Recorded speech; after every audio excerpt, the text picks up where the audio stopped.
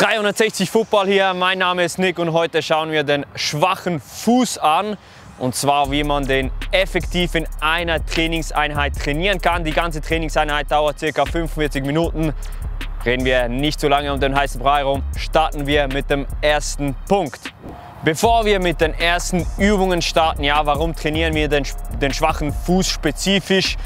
Wir sagen gerade, wenn der schwache Fuß einen Spieler zurückhält, wenn es eine Schwäche ist, die die wirklich auffällt, dann muss man ihn unbedingt zusätzlich trainieren, dass man ihn auf ein gutes Level bringt. Ja, gute Ballannahmen, gute Passqualität oder auch als Offensivspieler Schüsse, Abschlüsse im 16er, das muss drin liegen. Er muss jetzt nicht unbedingt so gut sein wie der starke Fuß, wäre natürlich optimal, aber es gibt viele Spieler wie Robben, jetzt als natürlich äh, bekanntes Beispiel, der vorwiegend mit dem linken Fuß gespielt hat. Aber es gibt auch andere Beispiele wie Dembele, der rechts und links extrem stark ist. Ähm, und sicher wichtig zu wissen, auch ein Arjen Robben beispielsweise kann mit dem rechten Fuß den Ball sauber annehmen, sauber spielen. Also auf dieses Level oder auf ein gutes Level muss man ihn unbedingt bringen. Als erstes wärmen wir uns mit ein bisschen Ballhandling auf. Das ist noch etwas locker und hier fokussieren wir natürlich auf den schwachen Fuß, in dem Fall beim Devin. Hast du überhaupt einen schwachen Fuß? Ja, beide. Beide, beide sind schwach. Nein, den linken Fuß machen wir Let's go. Also ich zeige es immer da kurz vor. Erste Übung. Zack, mit der Innenseite gerade nach vorne spielen und tack, tack, tack, tack. Genau, schön gerade nach vorne. Locker machen wir da ein paar Sekunden. Ihr könnt da natürlich ein bisschen länger machen. Gesamthaft für das Ballhandling rechnen wir 10 Minuten ein. Dann genau dasselbe für den Vollspann, dass, dass wir hier das Gefühl aufbauen. Tack, tack, tack, tack. Auch schön nach vorne spielen. Genau. Du spielst ihn jetzt noch ein bisschen mehr mit dem Außenriss. Du kannst auch versuchen, mal noch mehr den ganzen Fuß ein bisschen gerade halten. Hilft noch ein bisschen mehr, die Spannung aufzubauen. Ist am Anfang fast ein bisschen unangenehmer. Das ist ein kleines Detail.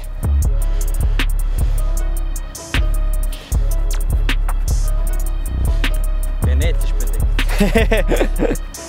Nein, aber passt, passt. Gut, das war eine zweite Beispielsübung. Das reicht schon. Dann eine nächste für die Sohle haben wir so. Zack, 1, 2, 3, 4, 1, 2, 3, 4, 1, 2, 3, 4.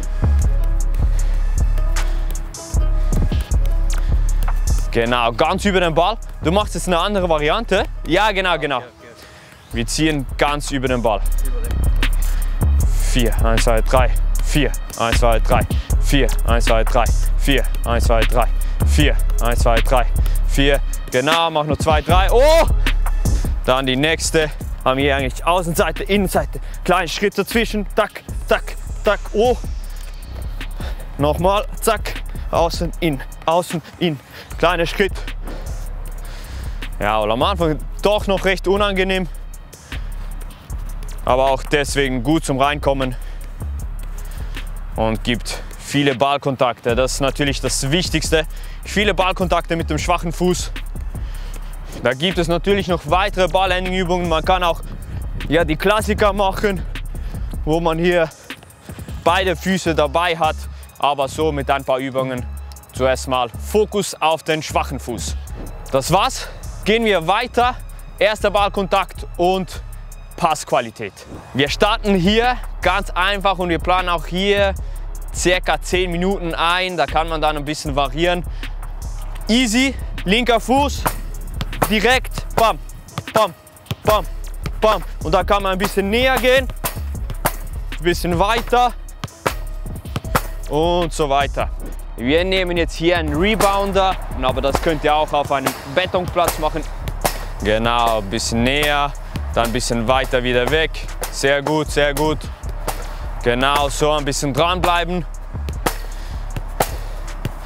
Dann kann man sich als Ziel setzen, beispielsweise eine Minute dranbleiben oder 30 Sekunden, zweimal 30 Sekunden. Das überlassen wir euch. Dann die nächste Übung, auch noch simpel. Spielen, Innenseite, spielen, zack, spielen, tack, spielen, tack, spielen, tack.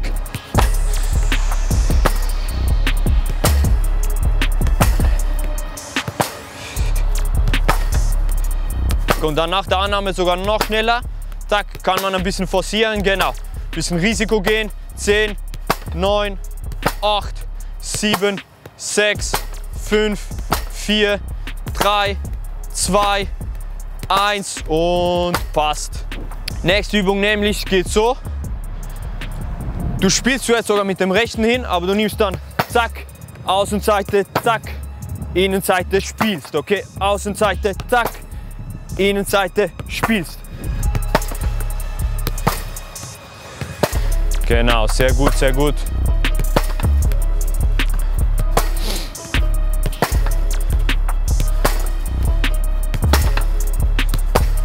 Ja, genau, dann kannst du steigern, auch Risiko nehmen, auch wenn mal ein Fehler passiert. Sehr gut, sehr gut. 10, 9, Bonus, komm. 8, 7, 6, 5, 4, 3, 2, 1. Ja, bist gut. Reicht, reicht. Das war's für diese Station, würde ich mal sagen. Gehen wir weiter. Dritte Station, Slalom, Ballkontrolle. Dritter Teil, Ballkontrolle. Natürlich empfehlen wir den Spielern in den meisten Fällen mit dem starken Fuß den Ball zu führen, wenn man auch wählen kann. Aber es gibt Situationen, wo man auch den schwachen Fuß dazu nehmen muss. Erstens das. Zweitens haben wir mit diesen Übungen hier einfach noch mal viel mehr Ballkontakte und haben so allgemein ein besseres Gefühl.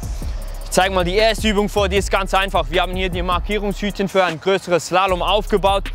Und dann gehst du hier, zack, gehst du hier, gehst du hier, und dann natürlich mit der Zeit kann man das Tempo steigern, wieder rauf und dann als Beispiel dreimal hoch runter. Und los, ja, genau. Fühlt sich komisch an am Anfang, gell? Genau, genau. Gut so.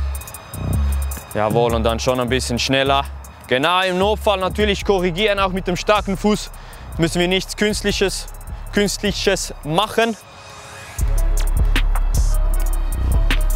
Devin hatte auch noch zwei Inputs hier, zwei Ideen. Das heißt, du kannst sie selber zeigen und dann gleich selber durchziehen. Um, den, um das Hütchen herum wäre dann einmal von der Innenseite, einmal von der Außenseite.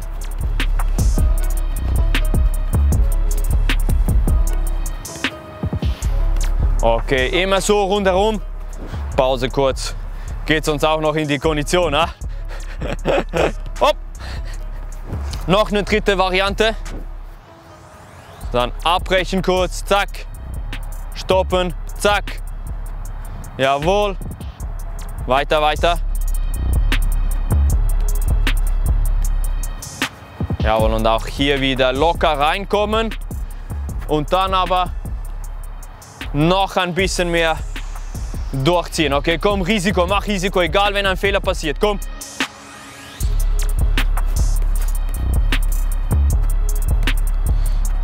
Ah, passiert. Das sind ein paar Ideen. Gesamt auf circa 10 Minuten hier Gas geben. Und dann bist du schon ein Stück weiter mit deinem schwachen Fuß. Gehen wir weiter zu den Abschlussübungen. Wahrscheinlich dein Lieblingspart. Schauen wir mal mit dem linken Fuß. Natürlich, das Video ist gedacht für für jemanden, der alleine trainiert. Das heißt, wir machen auch hier ähm, den ganzen Ablauf, dass Devin das alleine machen kann. Und vielleicht machen wir aber ganz am Schluss noch einen Bonus, wo ich dir die Bälle zuspiele, falls ihr mal zu zweit seid. Ball führen, Finte vor den drei Markierungshüten nach innen ziehen, bumm, Tempo. Immer wieder starten, wenn man ready ist, Finte. Ich erwarte jetzt ins Kreuz oben links. Ist gut? Also, volles Risiko, komm. Oh! Oh! Oh! Nicht schlecht. Oh! Ja, aber lässt sich sehen. Ja, die, die Skills bringen noch ein bisschen Unterhaltungswert hier rein. Ja, dass es nicht so, nicht so monoton ist. Oh! Das ist der Ball jetzt.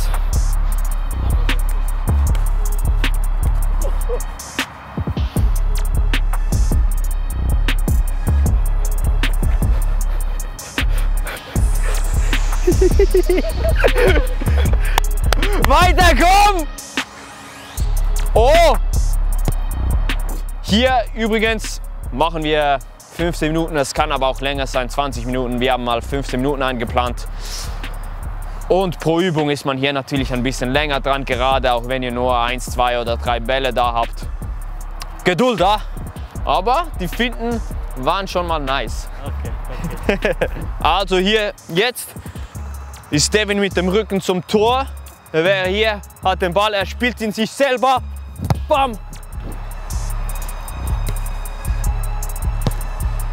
Genau, sehr gut, sehr gut.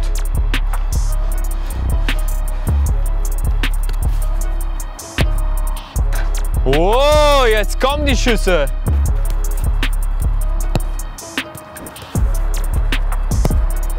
Passiert, passiert.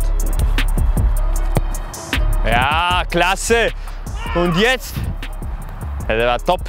Jetzt machen wir noch Bonus. Falls ihr zu zweit seid, könnt ihr auch vor allem hier bei den Abschlussübungen natürlich die Pässe sich gegenseitig zuspielen. Bam, nach innen nehmen, Schuss, okay?